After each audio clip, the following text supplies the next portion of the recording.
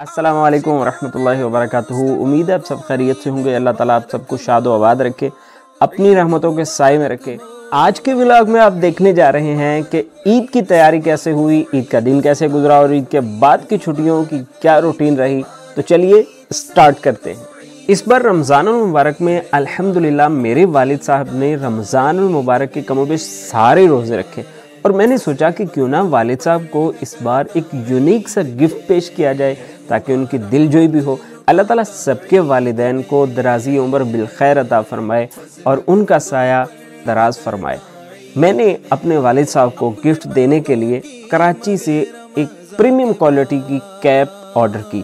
Cap कुछ दिन बाद रिसीव होगी और फिर मैंने सोचा, क्यों ना कैब के साथ एक परफ्यूम यानी इत्र मेरे नबी पाक सल्लल्लाहु अलैहि वसल्लम को, जो कि बहुत पसंद थी, खुशबू। वो मैंने अपने वाले साहब को तोहफा में पेश करने के लिए ऑर्डर की। इसी के साथ मेरे एक दोस्त हमज़ा गोहर साहब ने मुझे कहा कि आप मेरे वाले साहब के लिए भी एक ऐसा गिफ्ट तैयार करें, जो कि मैं उनको पेश कर सकूँ। तो खैर, मैंने फिर दोनों का इकट्ठा ही आर्डर कर दिया। तो कुछ दिनों बाद वो भी रिसीव हुए। मैंने एक बकेट ख़रीदी। बकेट के अंदर रोज़ पेटल, यानी कि गुलाब की पत्तियाँ ली और फिर मैंने मिसवाक, तस्बी और कैप, फिर उसके साथ मैंने इत्र भी रखे। और फिर क्या हुआ कि चाँद रात को मैंने अपने वाले साहब की खदमत में वो एक खूबसूरत सी बकेट बना के पेश कर दी और उसी रात अपने दोस्त, जिन्होंने मुझे कहा था कि वो उनके वाले साहब के लिए भी एक गिफ्ट तैयार करके उनको डिलीवर कर दे। तो मैंने खैर उनको भी पेश कर दिया। अभी चूँकि चाँद का ऐलान नहीं हुआ था तो अजान इशा हुई। इशा की नमाज़ अदा करने के लिए मस्जिद पहुँचा। मस्जिद में इशा की नमाज़ अदा करके तरावी की अभी दो रकअतें ही अदा की थी कि रुयत हलाल कमेटी ने चाँद नज़र आने का ऐलान कर दिया। तो फिर क्या हुआ? तो मोतकफ़ीन अपने घरों में जाने के लिए तैयार हुए। बकिया नमाज़ अदा करने के बाद अलविदा अलविदा, माह रमज़ान पढ़ा गया। सलात सलाम पढ़ा और दुआ खैर हुई। उसके बाद घर पहुँचे। घर पहुँचे तो पता चला जनाब कि अभी टेलर से अपना सूट लाने वाला है। फिर दिनों से मुझे बता रहे थे कि आपका सूट रेडी हो चुका है तो आप रिसीव कर लीजिएगा आके। लेकिन मुझे टाइम ही नहीं मिला।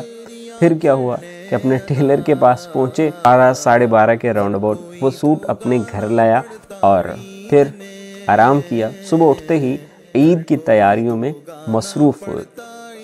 नबी पाक सल्लल्लाहु अलैहि वसल्लम की सुन्नत मुबारक थी। ईद उल फितर के रोज़ आप ईद की नमाज़ पढ़ने से पहले चंद ताक खजूर तनावल फरमाते या कोई मीठी चीज़ खाते।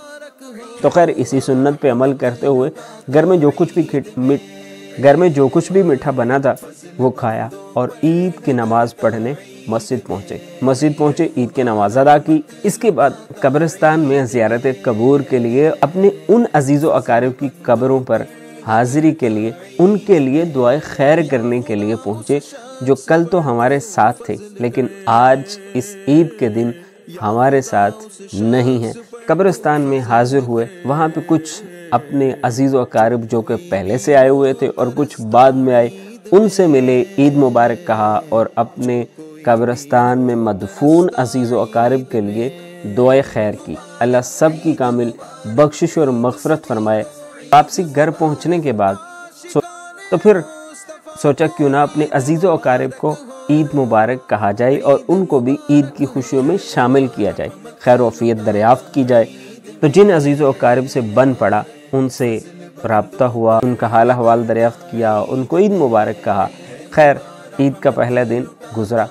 ईद का दूसरा दिन आया। तो जैसा कि आप सबको पता है, ईद के दूसरे दिन पाकिस्तान भर में ससुराल डे मनाया जाता है। तो शादीशुदा लोग भरपूर अंदाज से ससुराल डे मनाते हैं। तो खैर, आपके भाई ने भी इस साल ज़िंदगी में पहली बार ससुराल डे मना ही लिया। मेरे कज़न था जो कि दुबई से ईद की खुशियाँ मनाने के लिए पाकिस्तान आया हुआ था।